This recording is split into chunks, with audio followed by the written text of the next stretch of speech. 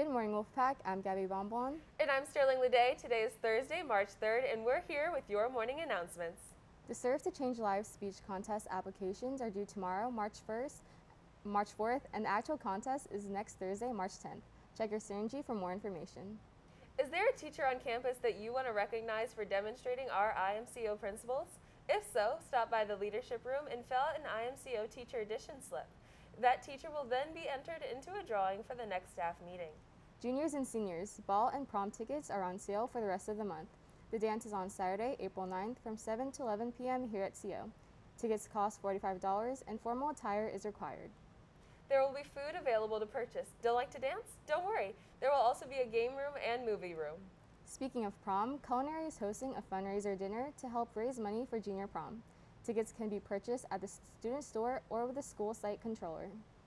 With purchase of a dinner, you will also get a prom ticket. There will only be 100 spaces available for the dinner, so get your tickets fast. Email Ms. Henderson for more information. Now let's check out a recap of Kindness Week.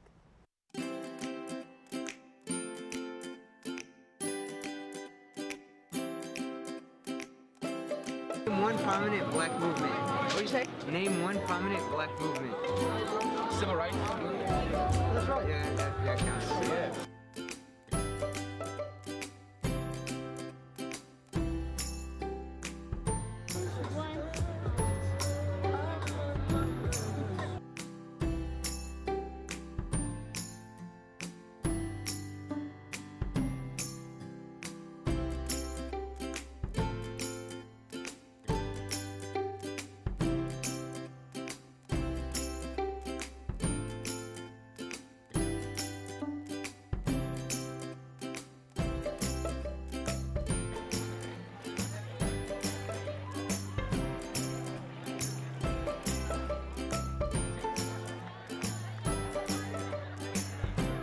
As term three comes to an end, many library materials will be showing up as due. For your textbooks and novels, hang on to them until your teachers tell you to return them as a class next week. For scientific calculators, those don't need to be renewed and are checked out for the rest of the year. Non scientific calculators do need to be turned in or renewed. For AP textbooks, hang on to them until after your AP exam. After your AP exam is done, you can return them to the library anytime the library is open. Now let's pass on over to Josiah and Dylan for your sports update.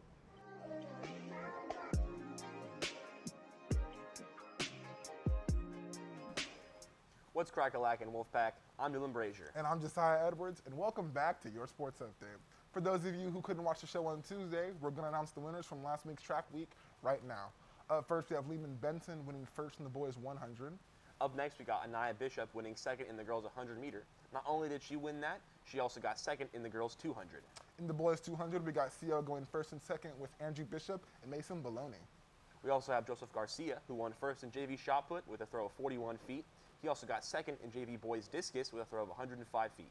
Now in girls shot put, we have Elizabeth Byers, who got second with a throw of 26 feet.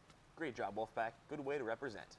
In girls softball news, our team won their first game against Christian Brothers 11 to 10. Hey, speaking of softball, we got the two team captains here with us for a live interview. No way. Here's Bella Robinson and Haven Figueroa. Yeah!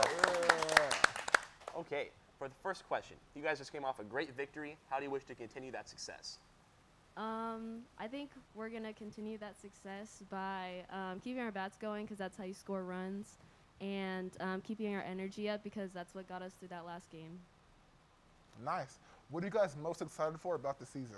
Um, I'm most excited for our senior night just because in like the years before it seemed like a very memorable time with like your teammates and your family. Nice. So you guys have been in softball your entire high, your entire high school career, and you guys are finally team captain. How does it feel to lead your team through this season? Um, it feels right. It feels well deserved. Um, we went into freshman year kind of like hoping and thinking this would happen.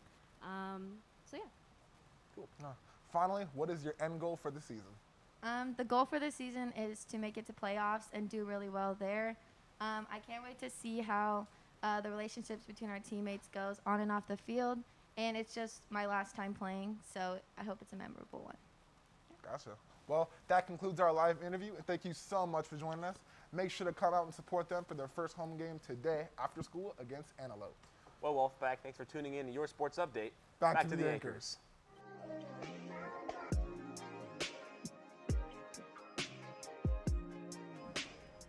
Thanks, guys. Well, that's all we have for you today, Wolfpack. I'm Gabby Bonbon. And I'm Sterling Leday. Remember, the strength of the pack is the wolf. And the strength of the wolf is the pack. Happy, Happy National, National If Pets Had Thumbs Day, Wolfpack. Wolfpack.